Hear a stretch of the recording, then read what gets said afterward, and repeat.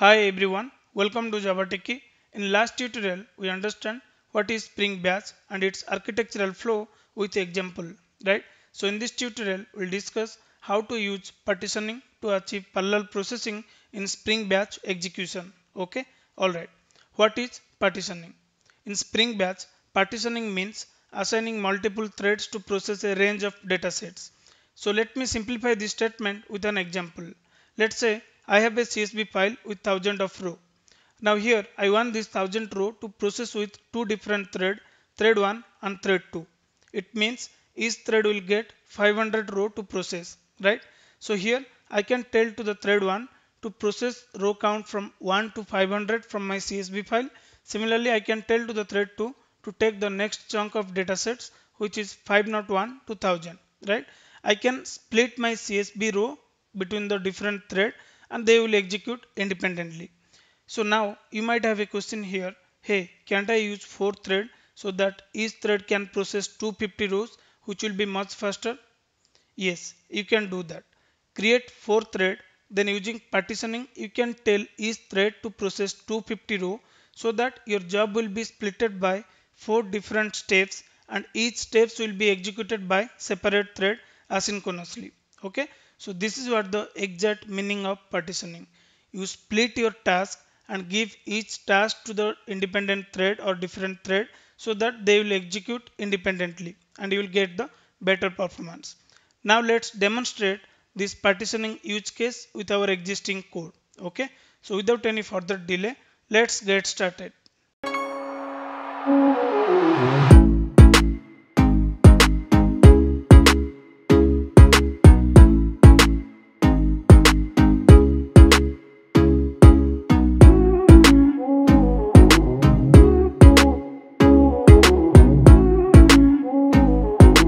if you remember in our last tutorial we created a job who will read the CSV file and populate those CSV information to database. And this is what the endpoint we created to trigger the job manually right? Now if we'll go to the spring batch config here we created the reader who will read from the CSV file. And then we have the processor who will process the record from the uh, CSV and then we have the writer who will populate those information to the database right? And also we created the step we created the job object. Then at end we created the task executor to execute our job concurrently. So if anyone not aware about what is the spring batch and how it works you can check out my previous tutorial. I will add the link in video description. Now let's implement the spring batch partitioning concept. Okay? So first let me create a package called partition Next, I will just create a class called column range partitioner or something like that. You can give any name. I will just give column range partitioner. Okay, just enter it. Then I need to implement this class from there is a interface given by spring batch. Let me type it partitioner. Okay, you can see here org spring. Now let me add the abstract method which is partition this is where you need to write the logic to tell to the spring batch take the chunk based on the grid size which I am giving here. Okay, I will name it grid size. So if you remember, we have the thousand of row in our CSV file. Let me go to the CSV file. We have the total row count. Okay. So let's scroll down. We have the total row thousand. Okay, including header thousand one. So this is where the place we need to split the task or we need to split the row count okay? So I have the code handy with me. Let me add it so that I can explain you. Even while execute our code I will debug and I will show you how the partitioning works okay? Let me add those piece of code. Okay let me correct the spelling. That's fine. Let me import the statement. Fine since we know we have the CSV file with 1000 row, I just specify the mean is 1 and max is 1000 but always it's recommended to make it generic okay? Since I know and we are just testing the partitioning example with the 1000 of row I just hard code the mean and max here. Then I, I will just get the target size. So max minus mean by grid size let's say if I am giving the grid size as grid size as a 2 then the target size will be 500 here right? So I'll just show you here. The number will be 0 start will be min which is nothing the 1 and end will be start plus target size minus 1 start will be 1 plus target size minus 1 will be 500 okay? So it will start from the so I will tell you these two line line number 20 and 21 tell that start from 1 to 500 this is what right? Start begin with the mean. Mean is nothing 1 and end is nothing. Start plus target size minus 1 we have the target size 500 here right? Then we, I'm just looping it and I'm just increasing once the one chunk of data is done 1 to 500 then I'm just increasing. So in the ne next loop the count will be start and end will be 501 to 1000 okay so this is what the simple logic I have added in the, inside this partition method. So I will just debug this piece of code and I will show you whatever I explain this is how it will behave. Okay? Now since we created this as a bean let me configure this column range partitioner in our spring batch config. Okay? So let me go to the uh, processor writer then I will just add that bean so I'll simply create a bean of it public there is a class we created column range partitioner. So I will just give this as a method and I will directly return the object of it. Okay? New column range partitioner. I will just annotate here at the rate bean now the next step we need to create another bean of partition handler so that we can tell to this particular column range partitioner this is what the number of thread and this is what the grid size and this is what the step who will going to take your task okay? So these things we need to configure in our partitioner handler. So I'll create another class of it or I'll create another bean of it. Partition handler.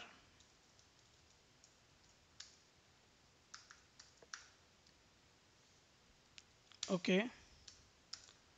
Then you can name it partition handler then create the object of task executor partition handler.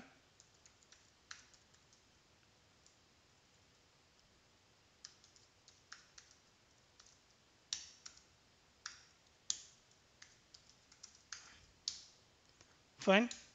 Now here you need to set task executor partition handler dot set grid size which is 2 because I just want to execute this task with two split right? One will be 1 to 500 another will be 500 to 1000 if you want 250 you can make it grid size as a 4 but for now I will make it 2 okay? I will also show you with 4 guys okay? Now this task executor partition handler dot set uh, what is that? Set step you can give but set task executor I, I need to give which we already created right? This were the task executor we created but I will just change the uh, piece of code here as well. We will not use the simple async task executor. We'll use the actual implementation. I'll just change that but before that let me configure the steps here. Okay here. So I'll just give task executor partition handler dot set step. So here one more trick we need to do. We need to create say there will be one step who will do this reader writer processor. This will be we can name it slave slave step and we need to create another step called master step. And that master step will invoke this slave step okay? I'll show you that. For now i'll just give this as a give this slave step as a input to my partition handler. So I'll just annotate this as a rate bean and now I just need to execute or I just need to change the logic of this task executor. So the simple step I will just create the object. Let me remove this. I'll create the object of thread pool task executor. Fine. Then here I'll just give task executor dot set max pool size. I'll give 4 then I'll set the core pool size you can use the same what we have added before but let's use the thread pool task executor okay? Task executor dot set queue capacity will be 4 then finally I will just return it. That's fine we just added there okay? Now see here this job is crying now right? Because we changed the name of our existing step to slave step and we are giving this slave step to this handler. Now here in the job we need to give the master uh, step. Okay? So simply what I'll do I'll just copy this. I'll just change the name here. Master. Okay? Step. That's fine. Also I'll change the name of this step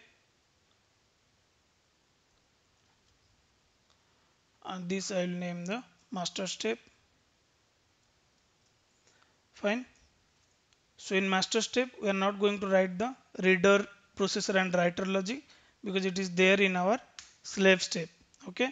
So here simply what I want to do I just want to set my partitioner. Okay?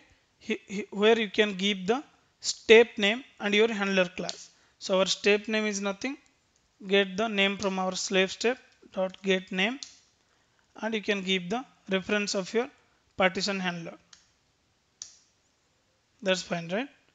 Now you can also not yeah you can also give the partition handler here. That's fine. This is enough.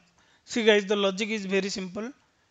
All the reader writer everything will be done by this slave step and we have the partition handler where we specify the grid size grid size and task executor and we are giving this slave step as a input to this partition handler. And now that partition handler we are giving input to the master step right? So yeah. This is what the simple logic. Now this master step i need to give to my job. So job will take the input as a master step then it will go to the step and it will check what is the partitioner and what is the step which i need to execute and what is the partitioner handler? It will go to and check this partitioner bin. It will execute all the logic whatever you wrote here. Then again it will go to the uh, what is that? Partitioner handler and it will execute all the step whatever the things you mention here. So the hierarchy is bit different. Initially we give in a single step and here now we created multiple steps. That's fine. Let me see where is the error okay I missed the return statement. Return this task executor partition handler. And one more thing I just need to change. Now here I just set the grid size as a 2 right? It means I want one grid will execute with the 500 of chunk size right? That is what we understood in our PPT right? Thread 1 will execute from 1 to 500 thread 2 will execute from 501 to 1000 so that is why I just set the chunk size as a 500 that's fine now now what we need to do, if you remember the execution or the this particular principle, now we want to save 1 to 500 record with the thread 1 in a single shot, right? So we can use something called customer repository dot save all. But if you remember in our item writer, uh, okay, let me show you. Yeah, this is the writer. We just used save method, right? But now I want to I want one thread will execute 500 row in a single shot. So since we are using this repository item writer which is specific to Spring Data JPA, so rather than use this save, I need to use the save all method. So what I will do, I will just remove this bin. I will create a class, separate class. Let me create a class called uh, customer writer or something like that.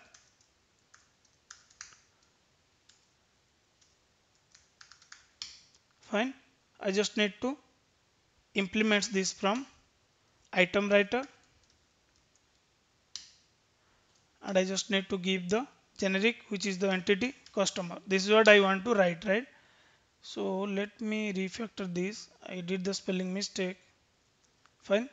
So customer writer implements from item writer. So I'll just annotate here at the component.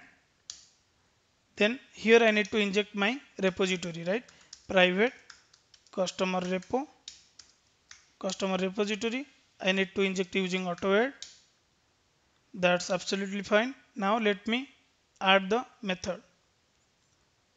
Not this. Okay. I guess I added the wrong input uh, wrong input statement javax.batch API let me check that. Okay so it should be spring batch guys. Let me add the input class.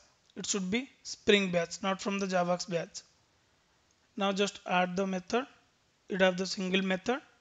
Write. Fine. Now here you can directly use customer repository dot save all. You can give this list. Fine. So that 500 row will save directly. Now here to show you that it will be executed by the two thread. What I'll do I'll just use the sout, to sout statement. Uh, here something I can write. Thread name who is doing this job? Because see guys the request will come here two times. One with the row count 1 to 500 and second with 500 1 to 1000 that is why I just want to show there will be two different thread who will do this job. Okay? So that is why what I'll do I'll just use thread dot current thread dot get name.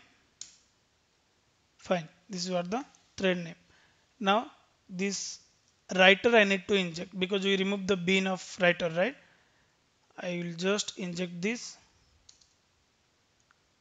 private customer writer uh, customer writer repository not required now. I'll remove this. See this writer I need to give uh, in our step.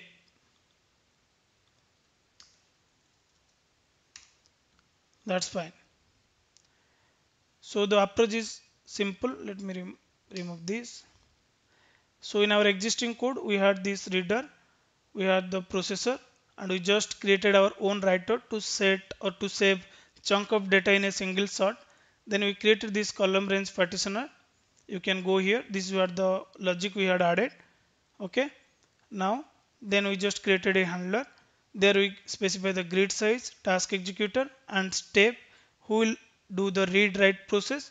And that slave step again we are giving to the master step with the partitioner logic. And then we are giving these to job. Fine let me format this. Fine I believe we are good now. Let me cross verify all the component once again. We have this reader we have this line mapper we have this processor. So I believe last time we added a filter on the processor right? So I just want to process the thousand of row from my CSV so I don't want to add any filter here right now. I'll just remove these okay I'll just add the I'll just return the customer object. That's fine now. Now go back to the config then we have the partitioner we have the handler and we have the step. In handler we are giving this task executor right? So you can remove this from this slave step. That's fine. We have the master step and we are giving the slave step and partitioner here. All good. Now let me start my application. It will take few seconds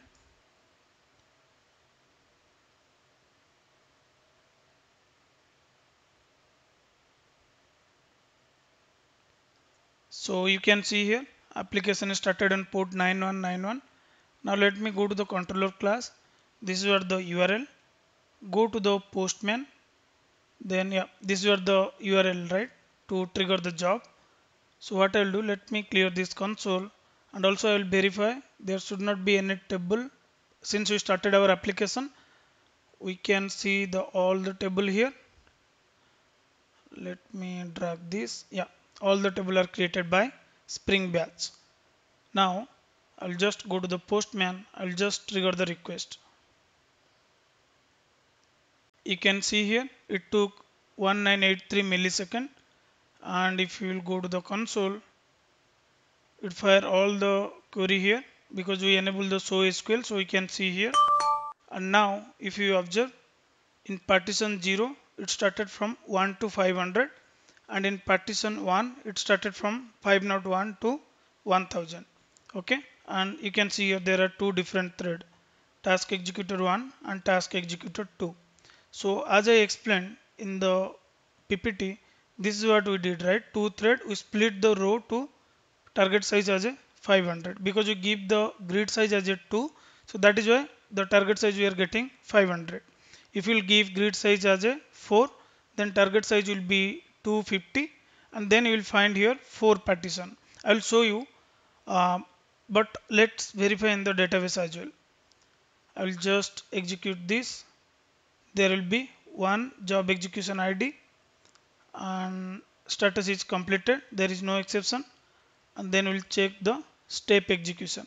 So here you will find the interesting one. There will be one step which will be master step and there will be two slave step because of the two grid size.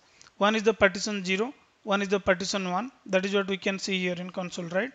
0 and 1 now if you will verify in the DB these are the start time end time and you can see all the status is completed. And then if you will verify these are the write count. Okay read count and write count. Okay so you can see here guys then there is no skip and exit code is completed. Now what I'll do I'll just uh, debug the code and I will show you how the column range partitioner will work. So let me stop this. And meanwhile I will also clear the DB I will delete all the table. Yes skip all delete I don't know I am not getting the option to drop all the table uh, in this DBeaver but I'm not sure. Maybe there will be some solution. I'm not sure at this stage. What I'll do I'll just start my application in the debug mode but I will just add a debugger here. Let me add the debugger here.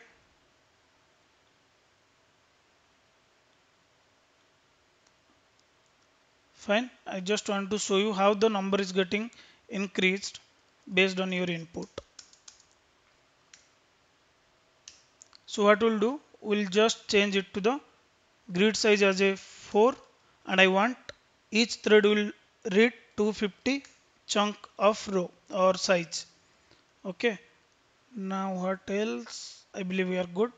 So the loop will be here the loop will be routed four times and each times you will find the start and end time change so let me debug that and then I will show you. Okay. So let's start in the debug mode. It will take again few seconds